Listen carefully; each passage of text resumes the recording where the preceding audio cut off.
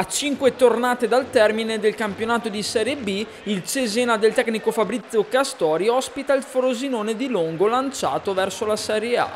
I bianconeri sono propositivi e tengono testa ai ciociari, come all'undicesimo quando Schiavone in verticale pesca Kupish, lo stop è ottimo, la conclusione no. Dai piedi di Giallov la prima palla gol, sul più bello in cespica, ma la riva in corsa a rimorchio si divora il vantaggio, con Vigorito che si ritrova il pallone addosso e salva lo 0-0. Il Frosinone alza i giri con l'ex Conè, dalla sinistra serve Dionisi che appoggia per Gori ma sfuma una buona occasione.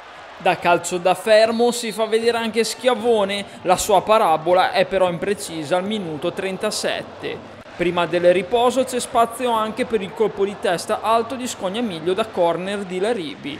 La ripresa si apre poi con Giallov protagonista che scalda i guanti a Vicorito rifugiatosi in corner. Poi ecco l'episodio chiave, Kupish viene atterrato dall'ex Crunch in area, rigore sacrosanto. Dal dischetto la Ribi insacca il vantaggio cancellando oltre un anno di astinenza di penalty. Longo corre ai ripari con la massima trazione anteriore ma solo al minuto 89 da corner, Citro colpisce il palo di testa. Solo al 97 i bianconeri alzano le mani al cielo perché con questi tre punti escono dalla zona retrocessione portandosi a quota 42 e martedì c'è il Pescara nello scontro diretto salvezza.